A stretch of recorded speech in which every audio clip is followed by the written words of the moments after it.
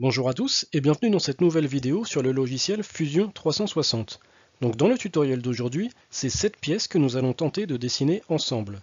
C'est une pièce qui peut paraître complexe au premier abord quand on voit toutes ces formes et ces codes qui sont un petit peu mélangés, mais vous allez voir que si on décompose suffisamment la pièce, elle est assez simple à dessiner. Donc c'est parti pour la conception.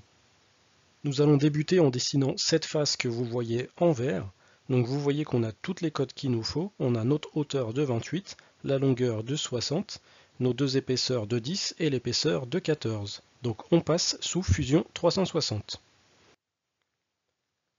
Donc je viens créer une nouvelle esquisse. Je clique sur ce plan. Et maintenant, je vais pouvoir venir tracer le profil de la surface verte. Donc je fais le contour de ma surface. Maintenant que le contour est tracé, je vais pouvoir venir mettre des contraintes. Je clique sur coïncidence, je mets une coïncidence entre ce trait et l'origine, ainsi qu'entre ce trait et l'origine. Donc les deux traits sont devenus noirs, ça veut dire qu'ils sont contraints. Ensuite, je viens coter ma hauteur de 28 la longueur de 60. Je viens mettre la première épaisseur de 10 mm et la seconde épaisseur de 10 mm. Il me reste plus que la dernière épaisseur de 14 et la pièce est entièrement cotée. Pour que l'esquisse soit centrée, je rajoute une cote entre ce trait et l'origine d'une valeur de 30 mm. Maintenant, mon esquisse est entièrement noire, c'est-à-dire qu'elle est entièrement contrainte. Je peux maintenant quitter mon esquisse. Cette esquisse, il va falloir lui donner du volume, donc on va passer par une extrusion. Pour définir la valeur de cette extrusion, on a nos cotes sur le plan, donc en partant de la droite, on a une première cote de 60. Ensuite, en haut, sur la partie cylindrique, on a une cote de 68. Donc si on fait le cumul des deux, on arrive à une cote de 128. À cette cote de 128, il faut soustraire les deux cotes de 8 que j'ai entourées. Nous arrivons donc à une profondeur d'extrusion de 112 mm. Donc on revient sous Fusion 360. Je vais pouvoir choisir ma fonction extrude. Je clique sur mon esquisse et je viens extruder mon esquisse de 112 mm. Ensuite, on va dessiner la partie cylindrique qui est en haut. Donc, on va débuter par la face que vous voyez en vert. Pour dessiner cette face, nous allons devoir passer par un plan décalé. Nous allons donc faire un plan décalé d'une valeur de 60. Donc je sais que la partie cylindrique ne démarre pas à 60 mais démarre à 52. Mais nous allons faire un plan à 60 qui nous servira aussi par la suite. Alors, je viens créer un plan, je clique sur cette face et je décale le plan de moins 60 mm. Je vais donc pouvoir passer à mon esquisse, donc à savoir un cercle de diamètre 32, un cercle de diamètre 60, et le tout à une hauteur de 60 mm au-dessus de la forme que nous avons précédemment dessinée. Je viens donc créer une nouvelle esquisse sur ce plan décalé. Et je démarre en traçant un premier cercle de diamètre 32 mm. Ensuite, je fais un second cercle concentrique à celui-ci d'un diamètre de 60 mm. Je viens renseigner ma hauteur entre le centre de mes deux cercles et le dessus de la première forme je renseigne une valeur de 60 mm. Ensuite, ce qu'on peut faire, c'est rajouter un trait vertical entre le centre des deux cercles et l'origine. De cette façon, l'esquisse devient noire, donc devient entièrement contrainte. Je dis que ce trait est un trait de construction et je peux maintenant quitter mon esquisse. Cette esquisse, on va pouvoir l'extruder d'une valeur de 68 mm donc je retourne dans Fusion 360, je clique sur Extrude, je clique sur mon esquisse. Dans Direction, je mets deux directions.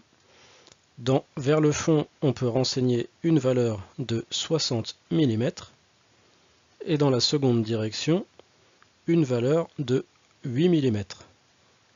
Je fais OK. Donc j'ai la partie cylindrique du haut qui est maintenant réalisée. Ce qu'on va pouvoir faire maintenant, c'est relier les deux parties. Donc pour relier les deux parties, c'est cette partie verte que nous allons maintenant dessiner. Donc je retourne dans Fusion 360, je viens faire réapparaître mon plan. Sur ce plan, je viens créer une nouvelle esquisse. Sur cette nouvelle esquisse, je viens tracer trois traits.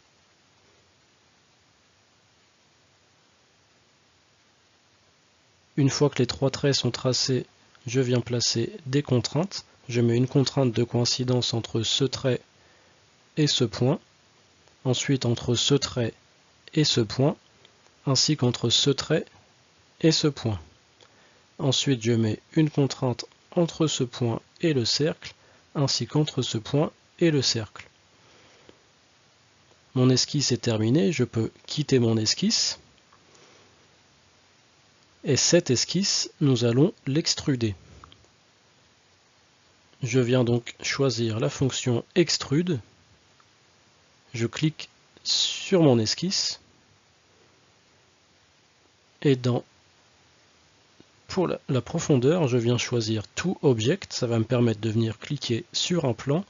Je tourne ma pièce et je clique sur le plan du fond. Je fais OK. Et nous avons maintenant la troisième partie qui est réalisée. On va maintenant dessiner cette quatrième partie. Donc pour la dessiner, il va là aussi falloir passer par un plan décalé. Donc je retourne sur Fusion 360. Je viens créer un plan décalé par rapport à ce plan d'une valeur de 16 mm.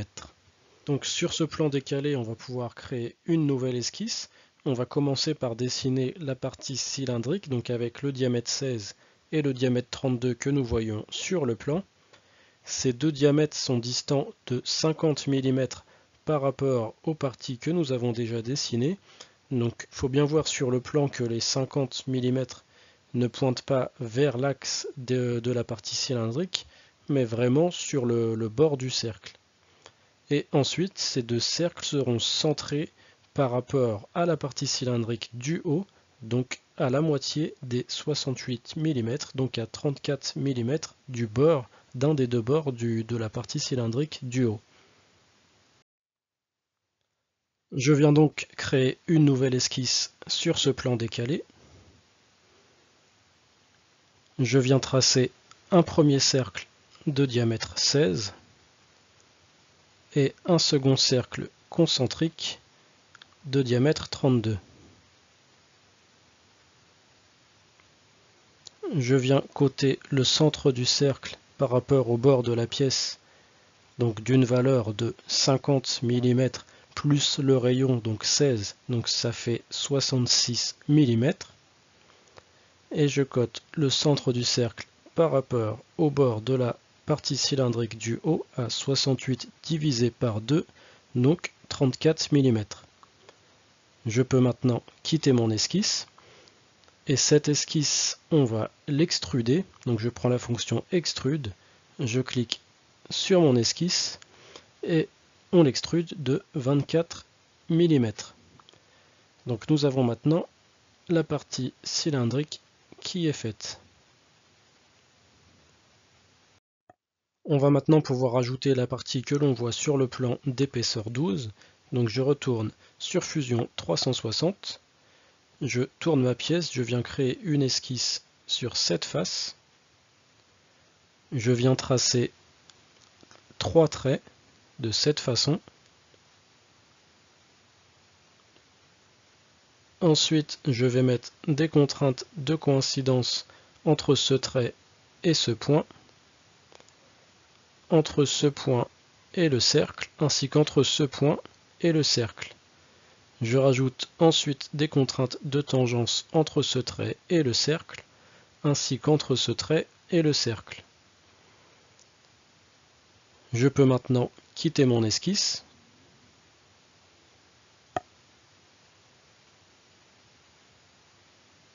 Et cette esquisse, nous allons l'extruder. Je clique sur mon esquisse et je renseigne une valeur de moins 12 mm. Donc nous avons la quatrième partie qui est dessinée. On va maintenant pouvoir passer à la conception de la nervure, donc que nous voyons en vert sur le plan. Pour dessiner cette nervure, il va là aussi falloir faire un plan décalé. Donc on va décaler ce plan par rapport au bord de la dernière partie qu'on a dessinée, avec la cote de 12 qu'on voit sur le plan, plus la moitié de l'épaisseur de 8, soit une valeur de 16 mm. Donc si je retourne sur Fusion 360, on crée un plan par rapport à cette face décalée de moins 16 mm. Donc si je tourne un petit peu ma pièce, on voit que le plan est bien centré. On va donc créer une nouvelle esquisse sur ce plan décalé. La première chose qu'on va faire, c'est qu'on va venir tracer un cercle. Ce cercle, je dis qu'il est concentrique par rapport à celui-ci, je lui mets une valeur de diamètre de 60 mm et je dis que ce cercle est un élément de construction. On va pouvoir commencer à tracer le profil de la nervure en partant du cercle. Je trace la forme approximative de la nervure. Ensuite, je viens dire que ce trait est vertical et je mets une contrainte de tangence entre ce trait et le cercle de construction. Ensuite, une contrainte de coïncidence entre ce trait et ce point. Je viens replacer à peu près mon esquisse. Il va nous manquer un élément sur l'esquisse, c'est un point que je vais rajouter. Et vous allez voir tout de suite pourquoi. Ce point, je le cote par rapport au bas je mets une valeur de 12 mm et par rapport à ce trait, je mets une valeur de 50 mm. Et du coup, si on zoome un petit peu sur le point, on voit que notre esquisse, grâce à ce point, va passer exactement sur le haut de la partie cylindrique. Donc il nous manque une cote ici parce qu'on a un trait qui est resté bleu. On peut mettre une valeur de 6 mm. L'important c'est de ne pas dépasser 8 pour pas que la nervure dépasse dans la partie percée. Donc mon esquisse est terminée, je peux quitter mon esquisse.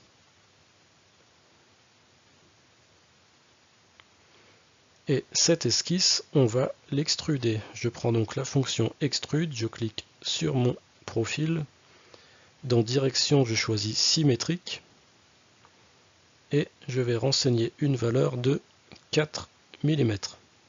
Dans opération, je mets joint et je fais OK. Donc on a la nervure qui est dessinée. Donc maintenant le dernier élément qui va nous manquer sur cette pièce c'est le perçage de diamètre 18. Donc ce perçage qui est situé à 24 mm du bord et qui est centré sur la pièce, donc à 30 mm du second bord. Donc si on retourne sous Fusion 360, je prends la fonction perçage, je clique sur ma pièce. En distance, je mets à travers tout, donc all, et je viens renseigner un diamètre de 18 mm. Ensuite, je viens le positionner par rapport à cette arête à 30 mm et par rapport à cette seconde arête à 24 mm. Donc je fais OK et j'ai mon perçage qui est fait. Donc la pièce est maintenant terminée. Donc voilà, comme vous avez vu, on a pu faire cette pièce assez facilement. L'important quand vous rencontrez une pièce qui vous semble complexe, c'est de la diviser en plusieurs parties simples. Ainsi, vous allez avancer pas à pas et arriver au bout de votre conception. Donc voilà, j'espère que cette pièce vous aura été utile. N'hésitez pas à mettre un petit pouce bleu si la vidéo vous a plu et à me laisser vos impressions en commentaire. Je vous invite aussi à vous abonner à la chaîne pour les personnes dont ce n'est pas le cas. Et moi je vous dis à bientôt pour une prochaine vidéo.